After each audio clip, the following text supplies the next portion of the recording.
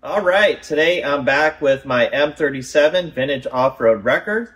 These trucks originally came with a carburetor that included a governor on it to keep the engine from revving too high.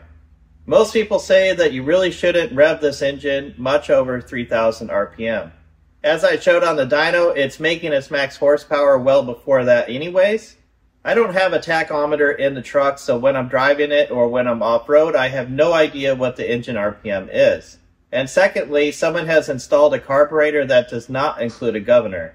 So that means when I've been driving this truck, I could rev the engine to dangerous levels.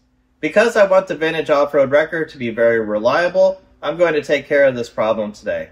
So this is what I bought. This is an MSD rev limiter, and this is a soft rev limiter, which is really important because you want to, in this case, run up to the maximum RPM and stay there.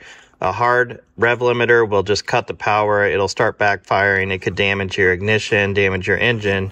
But this one, uh, if I'm pulling something going off road, I can let the engine RPM come up to the rev limiter and stay there. There's a little port on the back, these two holes right here.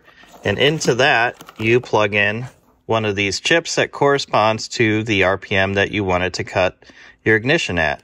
So this kit has 3000 to 3800.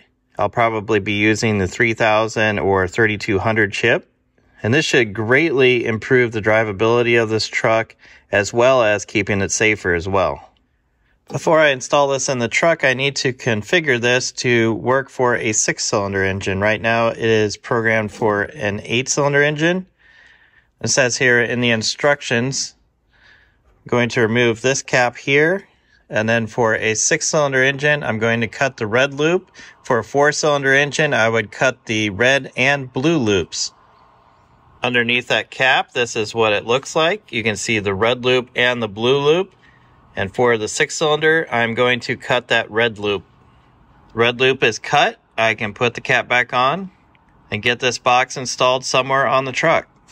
I found a nice spot under the dash to mount the control box. All of the wires for this installation are going to connect to the ignition coil, except for the ground, which is this black wire right here. The purple one is not going to be used in this case, and in probably a lot of cases, this is going to be an extra wire that's not even used.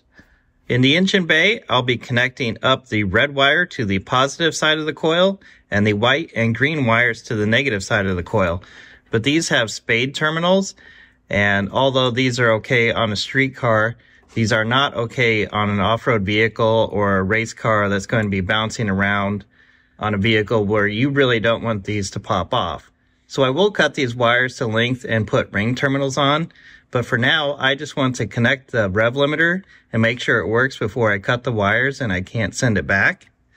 And to do that, I'm going to put these spade connector adapters.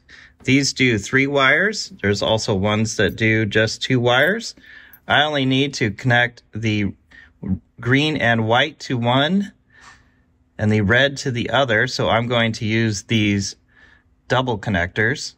And these will let me temporarily test this to make sure it works before I actually cut the wires.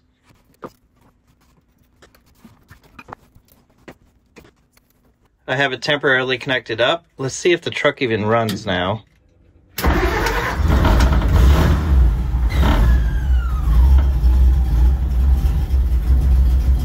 Okay, it runs. Let's hook up a tachometer. I've connected up the tach signal from my DynoJet. That way I can get a very accurate tach signal and I'll be able to see the TV from inside the vehicle. Now let's rev it to 3000 and see if it stops there. Okay, I'm gonna rev it up and see what it sounds like if we hit the rev limiter. 1500.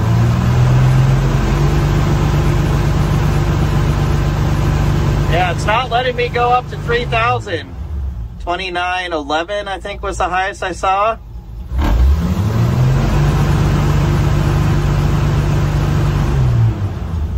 It's not popping, not banging. So it's definitely working. I'll be able to fine tune my maximum RPM using those chips. But for right now, I'm going to keep it at the safe level of 3000 RPM. If I go back to one of my old dyno graphs And let's get rid of the torque. And instead of viewing horsepower versus RPM, let's view speed.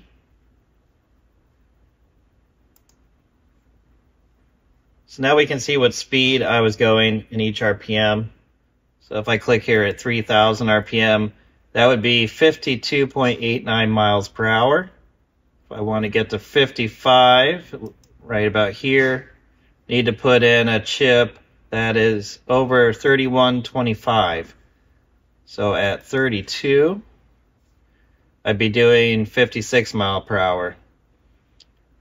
So if I want to do 55 miles per hour down the road, I need to put in a 3200 RPM chip. And at 3000, I would be doing about 53 miles per hour. It says up here in the corner that the maximum speed I hit on the dyno was 63.31 miles per hour, and the engine was at 3,600 RPM at that time. The truck being shaped like a brick might not have enough power to even get to 63 miles per hour. It probably could going downhill, but the engine would not last that long at sustained RPMs of 3,600 RPM.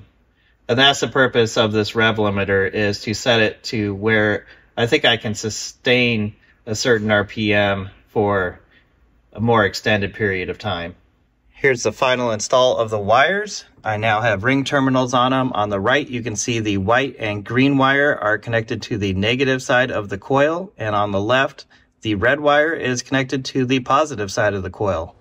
Okay, let's try a real world test. I have my speedometer on my phone here. Let's see what speed we get up to.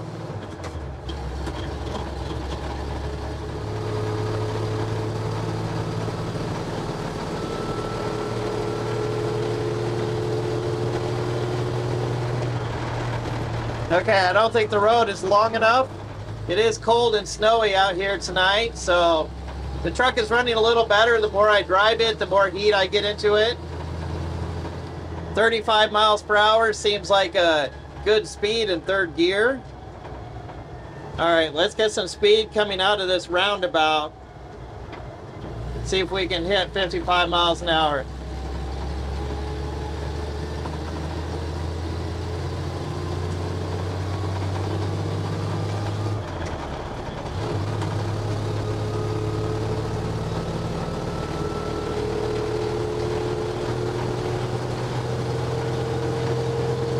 We're at 45.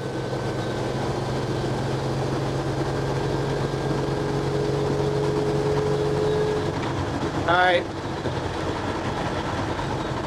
Need to be careful going around a corner here. 50 seems a little fast, miss.